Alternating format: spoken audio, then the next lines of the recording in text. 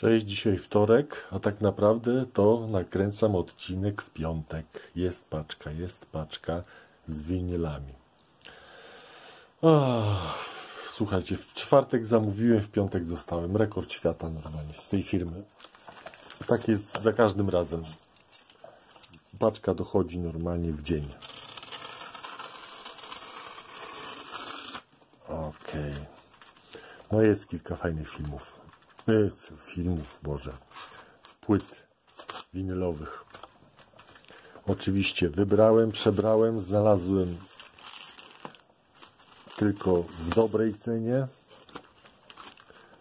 Już widziałem jeden tytuł. Zarobiłem na jednym tytule chyba z 60 zł, jakbym chciał sprzedać.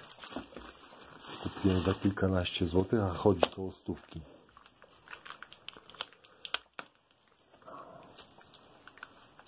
Dobra.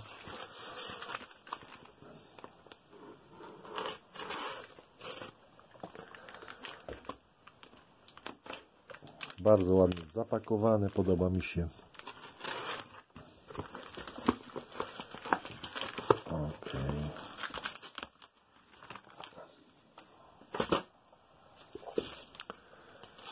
Du, du, du, du, du, du, du. O, paragon jest, patrzcie.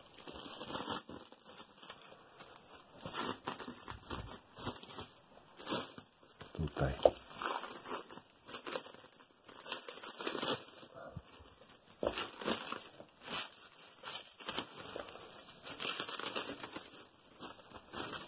Super, super, super, super, super.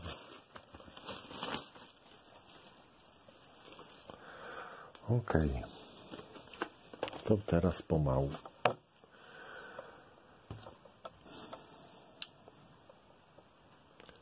Bruce Hornsby and the Range. Ajajajajaj, super. Płytka, lata 80. Oczywiście zbieram wszystko, co jest z lat 80. Tutaj mój przebój. Gino Vanelli i wielki przebój Dzikie konie, powiem wam. No z tego się bardzo cieszę. Ale cieniutka płytka, bo już czuję, że jest normalnie...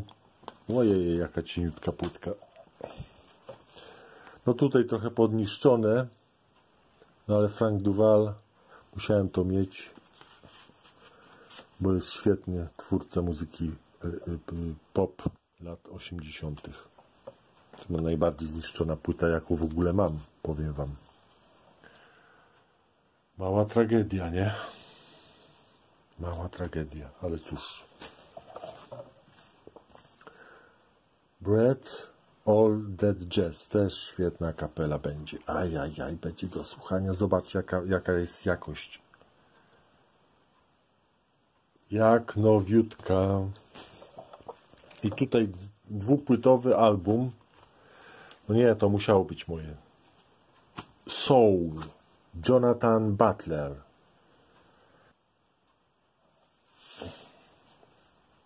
Będzie się działo, powiem Wam, będzie się działo. Ok.